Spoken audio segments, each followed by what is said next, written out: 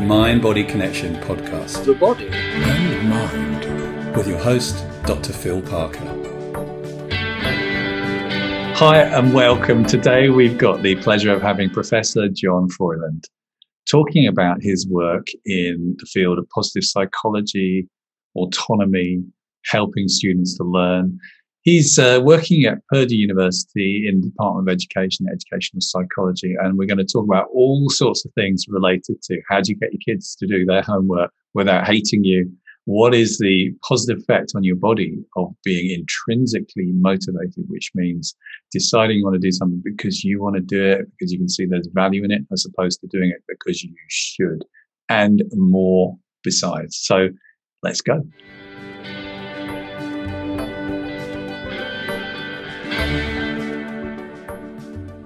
So, welcome, John. Thank you so much for being with us today. Um, we're recording this, as I mentioned before we started, on election day. Um, so, let's see what we can do in this conversation to help everybody feel happy and positive and, and optimistic about the future. Um, in the introduction, we already talked a little bit about you know who you are and what you do. Today's conversation is going to be about the mind body connection, the mind and the body, and how it all fits together. And I usually start the podcast by asking simple kind of interesting question, which is for you, what's your definition or experience of the mind body connection? What does that mean to you? Uh, the way I got interested in it um, was when I was starting to develop intervention studies on teaching parents how to be autonomy and relatedness supportive. And one of the outcomes I was interested in is psychosomatic symptoms or psychosomatic complaints like headaches, muscle tension, um, uh, stomach aches and uh, others, you know, because those are symptoms of anxiety, for instance, in uh, children often. And uh, when I taught the parents in the treatment group how to be more autonomy supportive and how to help the kids to set their own intrinsic life goals, where you focus more on helping others and growing instead of grades and pressure and stress and things like that, uh, the kids actually in the treatment group relative to the control improved in terms of less um, stomach aches, headaches, and muscle tension. So uh, that's one example of where I um, got interested in the mind body connection. Okay, so let's just uh, rewind. One of the things I like to do on this um, the podcast is explain any technical jargon that sneaks into the conversation. So we've got autonomous. Do you want to just describe what that means to people? Which which part? Uh, autonomous or autonomy? Oh yeah, um, autonomous motivation is where you do things because you want to do it, you see the purpose, the value in it. Um, a lot of people might not even realize it, but they sort of have what's called controlled motivation, where they're doing things out of a sense of uh, only obligation, pressure, uh, avoiding guilt, avoiding shame, avoiding fear, uh, and also to get rewards, like kind of like the carrot and the donkey. Uh, the donkey chasing the carrot and avoiding the stick, you know, that's extrinsic regulation. Uh, so yeah, autonomous motivation is where you really see a, a reason for doing things. Yeah, we'll be talking a lot more about that because that's really interesting. So many people have spent their their lives being forced extrinsically to do things or to avoid or for shoulds, for obligations. And so many of us are personally used to that kind of style of motivation that we grew up with. And a lot of your work is on the opposite side of it. What happens if you if you can help people to learn how to motivate themselves what are the, the consequences of that? And obviously that's what you're talking about in this study. And you found you found a change in a whole bunch of symptoms. And, and there was an interesting phrase you used which was psychosomatic symptoms. And the word psychosomatic obviously means kind of mind and body.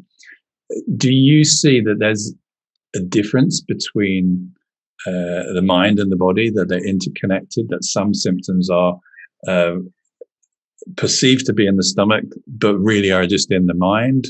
Or, you know, what's, what's your take on this whole psychosomatic conversation?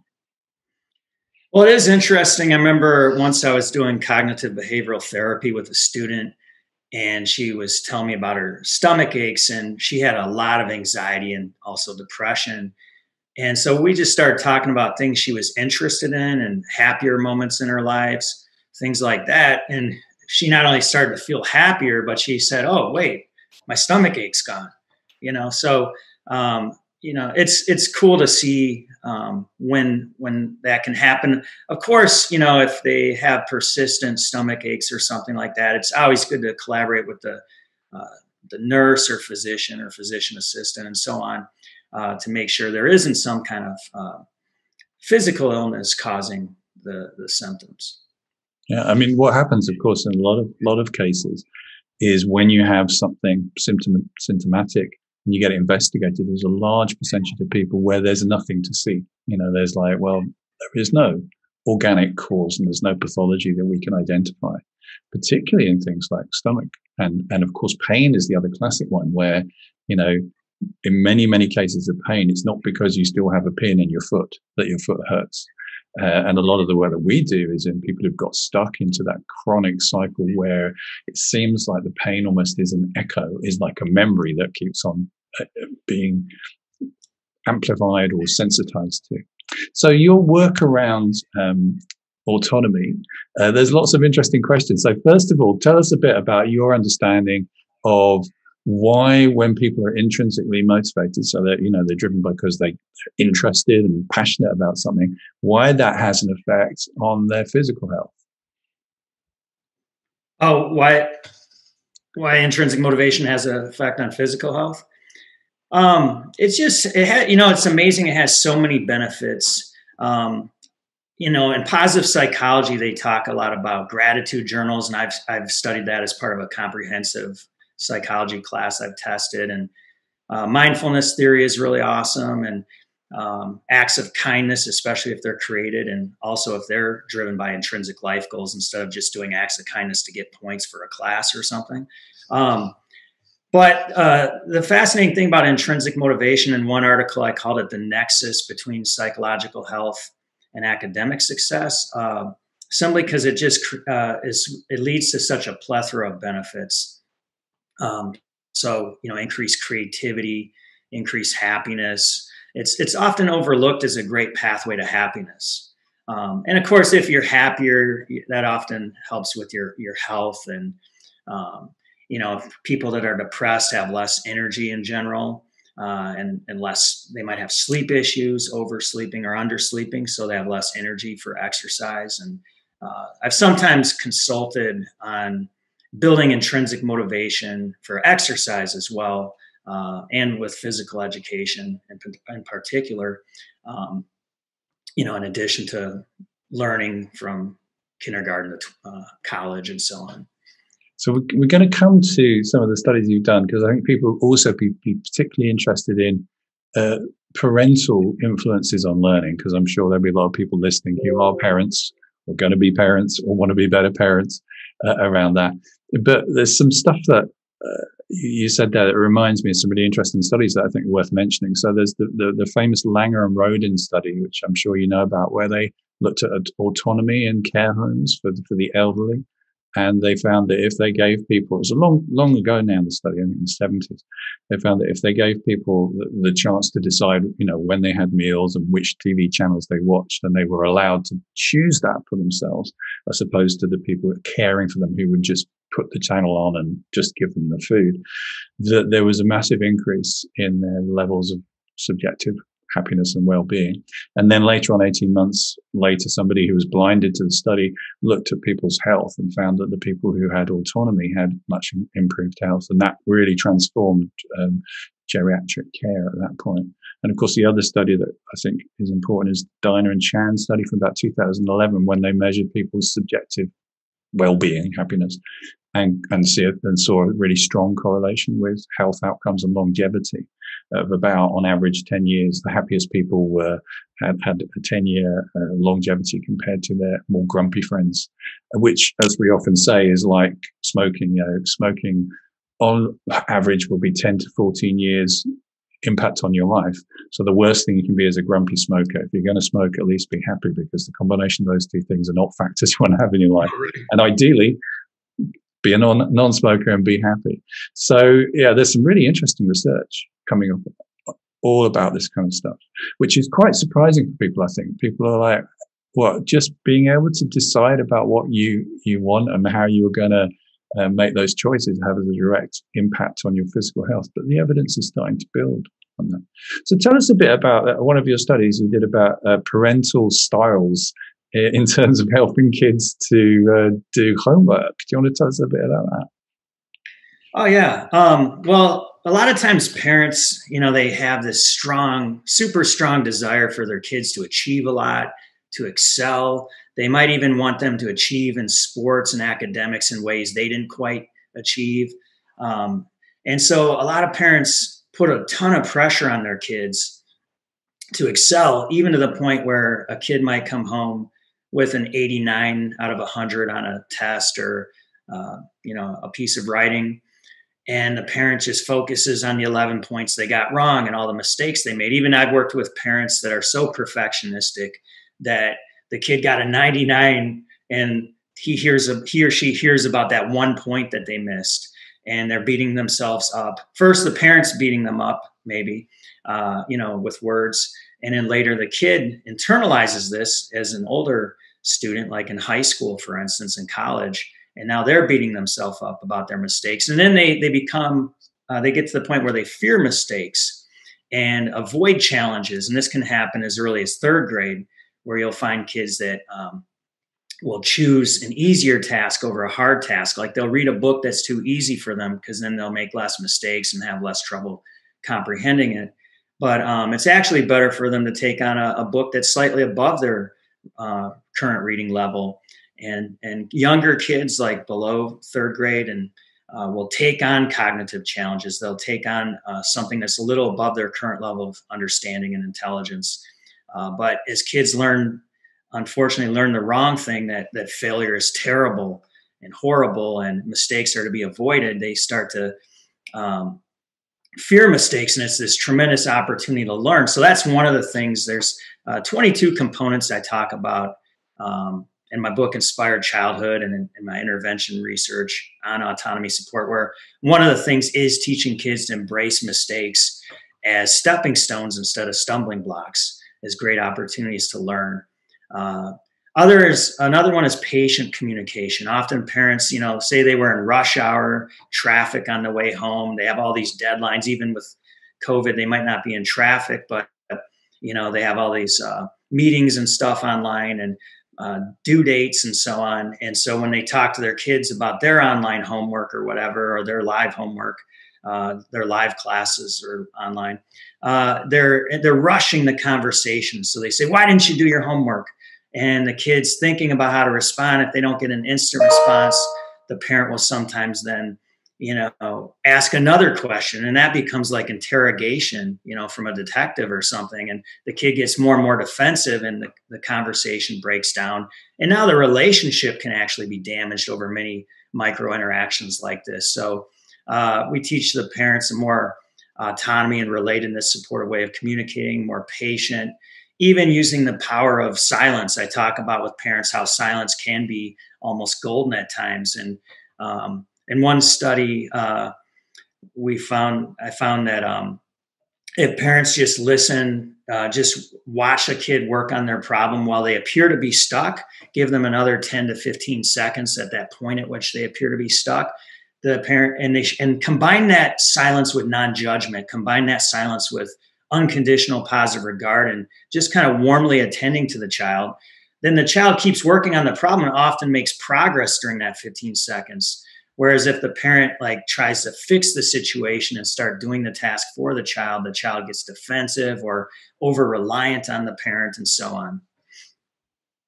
Yeah, I think that, that the opportunity to give a little bit more space and time is really important. I think, and I, I, suspect what's happening is different neural networks are waking up, or different affective states are occurring where people are able to just think differently. There's some interesting studies about um, as a task study. They they got people to think about um, different uses for, for household objects. So they give them a coat hanger and say, right, 20 things you could do with that. And then, you know, then another one and another 20. And people ran out of ideas after a while. And then they got them in three different groups. They said, right, one of you guys just go and, uh, just go and think some more. One of you go and do something creative and one of you go and do something really boring. And the people who did the boring um, job, which was washing up or cleaning or something. They then got them all back and said, right, here's a, think of another 20 tasks. And the people who did the most tedious job had more creativity. It seemed like by switching off your kind of part of your brain that's been working hard at that problem and activating a different part of your brain gives some different processing, maybe a kind of subcortical level or some kind of unconscious level. Uh, so that opportunity to kind of think differently. Uh, to give a bit of space is really interesting. And yeah, do, parent, do parents take to that? They they're happy to kind of step away where they're normally jumping and yeah. Oh right. Did, yeah, I mean, what you were, like it? That made me think of uh, times where I was trying to solve a complex data analysis um, for a study or something like that. And the the solution or epiphany came to me while swimming or in between playing beach volleyball and stuff like that. So you kind of rest your mind in a way. Uh, tr- that's another thing I teach kids that feel like they're wasting time, like say on math when they work hard on a problem. And I teach parents and teachers that teach kids this uh, kids will say, Yeah, if I work on a problem 10 minutes and don't solve it, it was a total waste of time. I failed. Uh, but I, I, say, if you go to the gym and you're trying to do 40 push ups and you do 30, did you fail? And they're like, No, I got an exercise, right? And eventually I'll get to 40. And so um, I help them to see it like that as mental exercise, kind of fitting along with growth mindset theory. Um, intrinsic motivation can go really well with that. Um, and I'm doing some studies related to that too. But anyways, uh, yeah, that they see it as this rigorous mental exercise, and then they and and there's that. It's kind of a cool mind body analogy too, right? Because uh, you can even talk about the the neurons. Uh, the dendrites making connections and so on. And they'll be like, oh, what about when I'm reviewing things? And we can talk about myelinization and so on and uh, things like that. Um, you know making the speed of information travel faster in your brain through reviewing things over and over so uh, being more cognitively efficient um, so yeah um, i think that's a really really nice idea and we have a whole thing about failure failure or humans generally have a very poor relationship to things not turning out as they hoped which is what it really means and a lot of the work we do is helping people to recognize exactly that. That what if we don't class it as that? What if we don't code it as failure instead? We just go, that's feedback, that's information from the system saying that didn't work out the way you wanted to. What could you do differently? But I really like what you just said there about, because if you look at math, you know, you're doing a sum. If you don't get the answer out, you know, you've got nothing, to, you know, in terms of when you're presenting your results, you know, I, I got nothing. Um, but this idea that well it's not just about the answer it's a, it is about that process of learning how to find your way through that is is very interesting and something that is is really important to encourage because we know uh, and you can talk about this in, in, a, in a minute actually that we know that um, this kind of extrinsic motivation or doing things in order to not to avoid something or to tick some box not only is not very effective in terms of academics, it has all sorts of other implications in terms of life. Um, so t- tell us a bit more about what are the positive benefits of the intrinsic learning and intrinsic motivation or autonomous style early on in life. What kind of consequences could that have for people? Well, one powerful thing is that uh, if a child is learning to focus primarily on a love for learning, for s- driving their studies and um, their homework and things like that and also a love for others is the reason you know an intrinsic a pro-social intrinsic motivation for treating others well instead of just trying to get candy you know uh, points coupons from the school store you know getting trinkets and toys uh, in one study i did a parent called it um, said my child is now motivated by feathers like uh, he would behave really well in school all day and he'd earn a feather or enough points to buy a feather at the school store and uh, anyways, uh, you know, if they're being conditioned for that kind of thing, it's like uh, eventually they're going to be the type of adult that sets extrinsic life goals, um, or a high school student, and, and later into adulthood.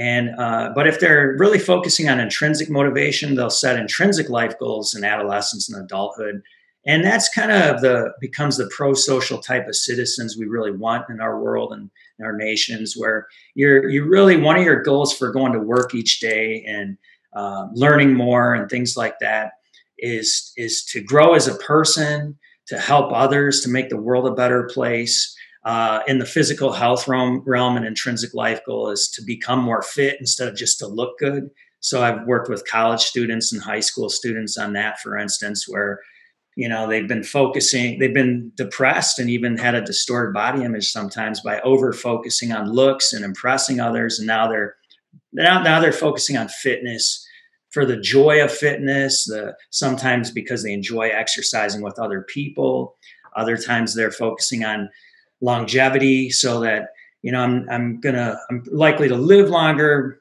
be there for my my future grandchildren. I could teach longer. Uh, sometimes i work with a lot with teachers and uh, they'll have more energy for teaching need less sick days and all sorts of benefits like that. So um, yeah, it's uh, it's really uh, fascinating to um, help people to develop intrinsic motivation and eventually focus more on intrinsic life goals. The extrinsic life goals are like focusing more on money, uh, popularity, which a lot of high school students really struggle with, and some people are overly focused on fame or something like that, or just local popularity.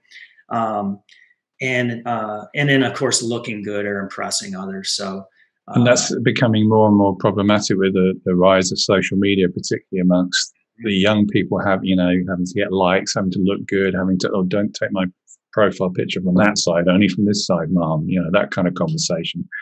And, uh, and I think it also leans into a bigger conversation, which you kind of touched on, which is about the world, you know, that the, the world is in a bit of a funny space at the moment, you know, not only with what's going on in, in the divisions that are quite clearly erupting in America and COVID, and it's, it's a very strange time.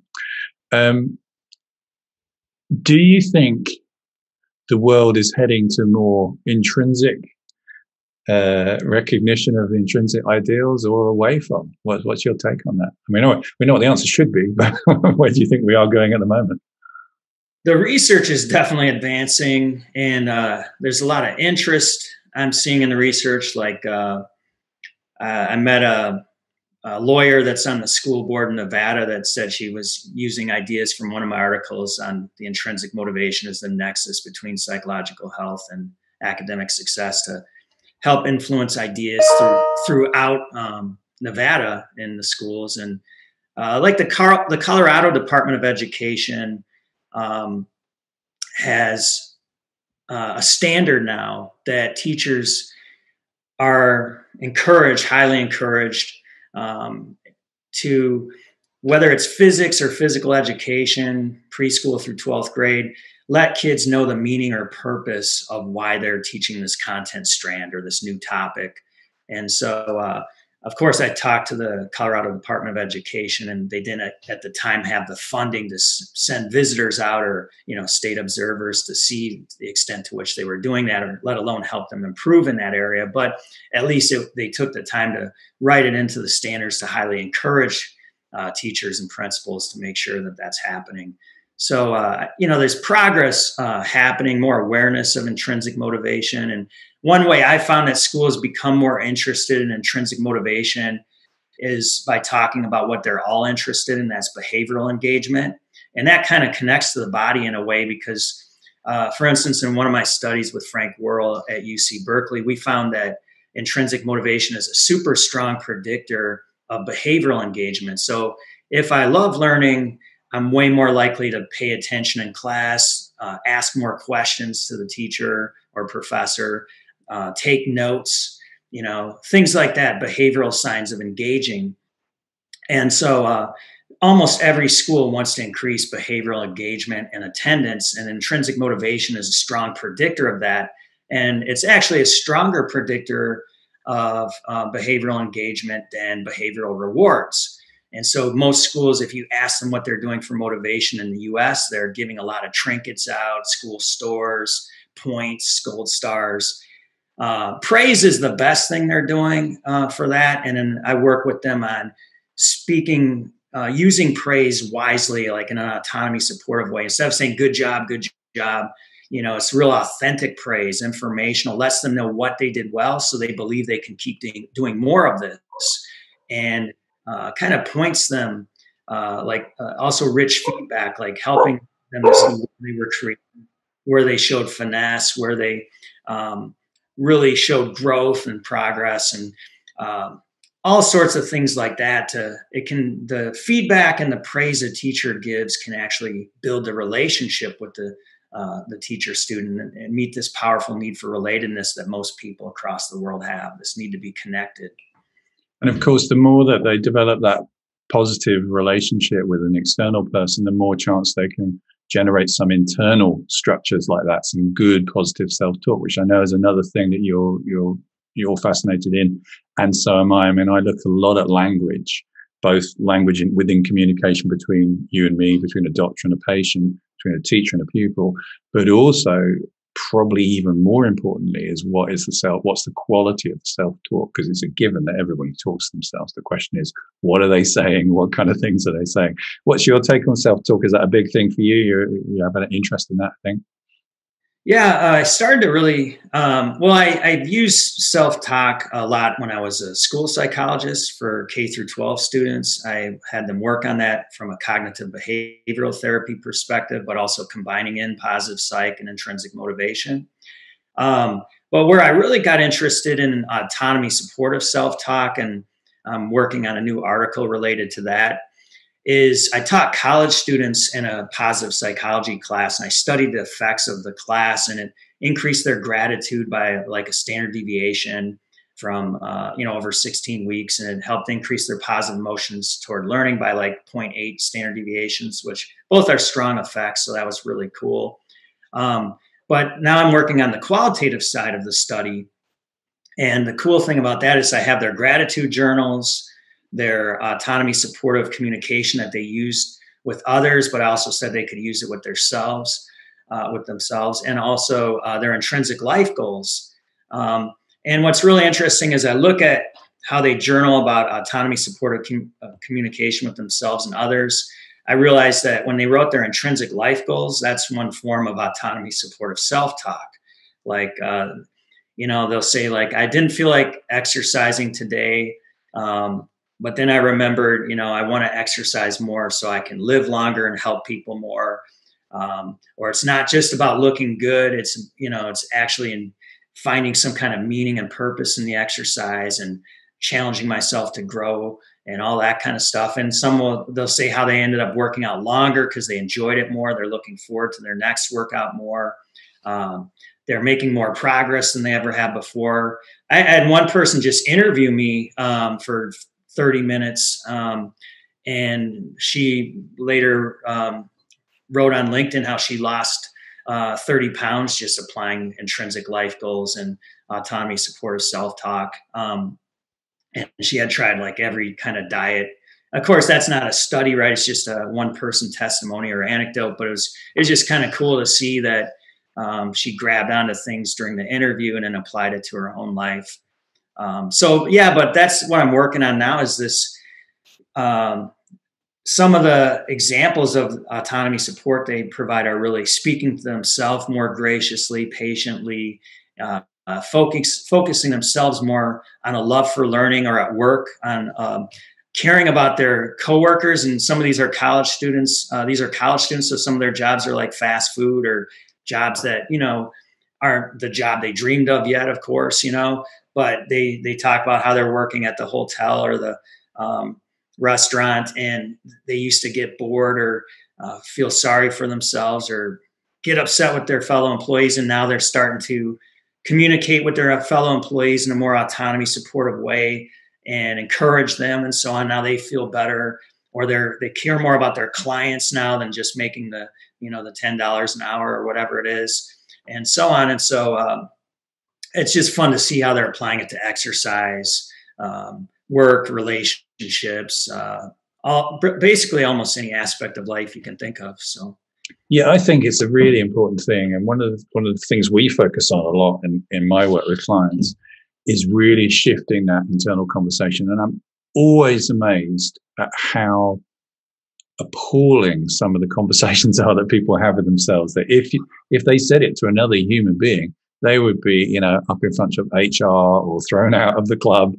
And uh, the, the thing we often say to them is, if you treated your friends like you treat yourself, would you have any? You know, if you have those kind of conversations that you're having inside your head, with other people, what would that, you know, what would people, what would people make of that?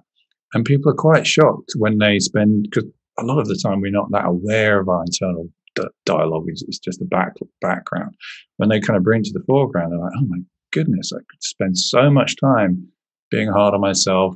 Like you were saying about the, the parents, that 99.9% is good, but what about the 0.1%?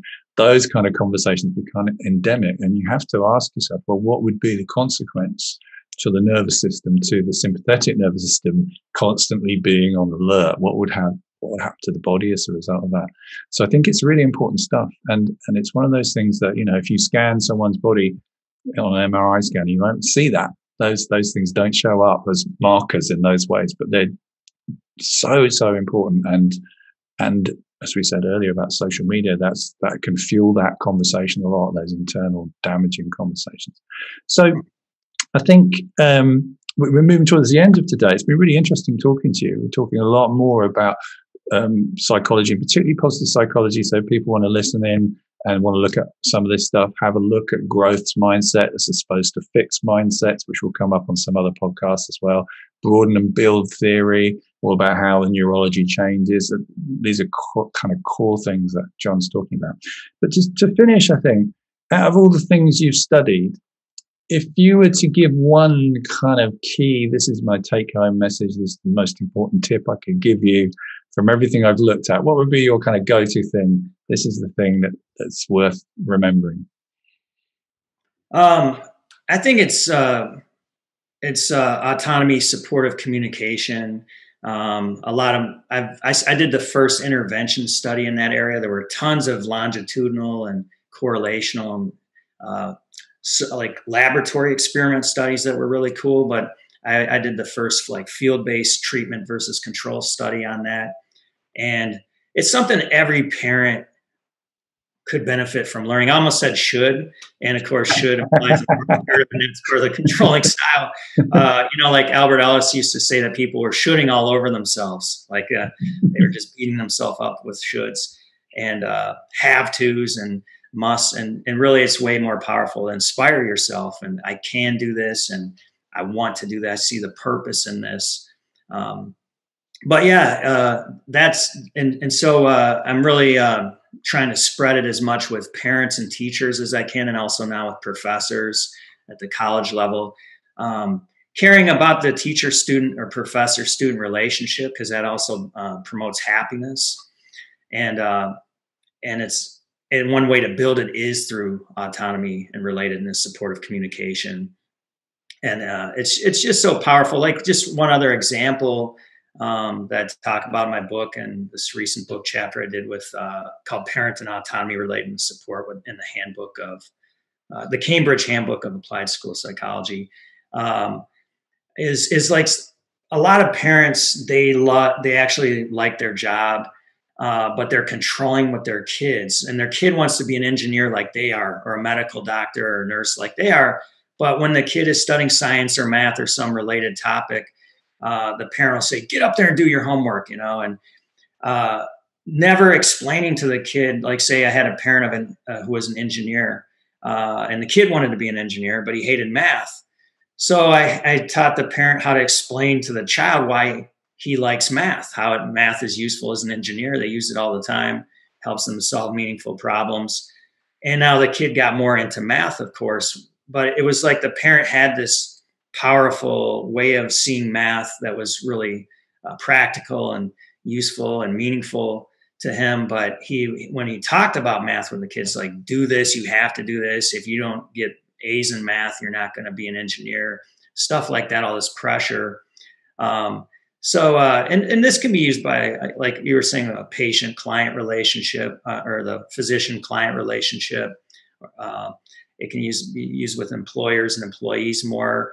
You know, if people speak to each other more like they would like to be spoken to, um, there's going to be a lot more happy people. And funny enough, with politics, all this arguing and fighting, that makes people more entrenched. They're more likely to stay stuck in their current ideas and the supposedly they're trying to influence each other by these angry tweets and all these arguments and stuff like that. But it just makes most people become more entrenched. And so, if you really want to inspire somebody to change, if you believe you have a better way of doing things, uh, autonomy and relatedness supportive way of communication makes it more likely that they will change. I actually wrote a book chapter about uh, political views and motivation um, for EBSCO. It's like a you know one of the search engines that creates some uh, book chapters and ways to catch up on research real quick. And and I discussed that a little bit, but um, yeah, uh, people want to influence people, but they go about it in, in, a controlling way, and it's it's unlikely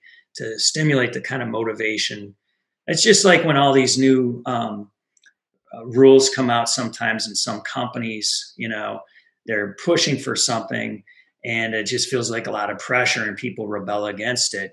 Uh, so it's really worth taking that extra time to let people know why you love the positive behavior, the healthy behavior, the studying, how it's meaningful, um, listening to the, the person. Often we ignore kids uh, and other people when they complain about their work or their homework because we don't want to hear anything negative. We're worried it will bring us down. But if we really show empathy and listen to them, now they're more open to our ideas about improving, you know, or changing their habits and so on. So, uh, kind of like psychologists often do with their clients, is they they often maybe start with non-directive communication where they really build that therapeutic relationship before trying to help them change all aspects of their life or some important aspect so was one of the most important things of any communication is that brilliant quality of rapport where you know you feel that somebody's got you and heard you and listened to you. And if you're a kid and all you're hearing is being no and stop that and don't do this or do right. it this way you're not going to get that. And it's the same interesting of course in all therapeutic relationships. So in psychotherapy therapy kind of relationships but also doctor patient relationships the, the quality of that you know magical element of rapport is so important. So uh, there was a nice uh, conversation I had in the first series with uh, Professor Andrea uh, Evers, who said, and she's well known for doing amazing, you know, top level, deep science studies. And her tip was, um, if you're going to have an operation and you don't believe it's going to work, don't have it. You know, you need to have a conversation with the doctor and get your head around why it's going to work, why this is going to be useful for you before even going ahead, because there's so much physiology that will be going against you if you plow through that, not thinking it's going to work, which is a very similar conversation to what you've just said about, you know, uh, about your, the beliefs you generate about uh, how, how, how excited, how much do I believe in this? How much is this part of me? How much am I connected to this? So if people want to find out more about your work, particularly from a non-academic perspective, uh, that parents are listening or people want to know about this type of communication, what's the easiest way to, for them to get hold of the information?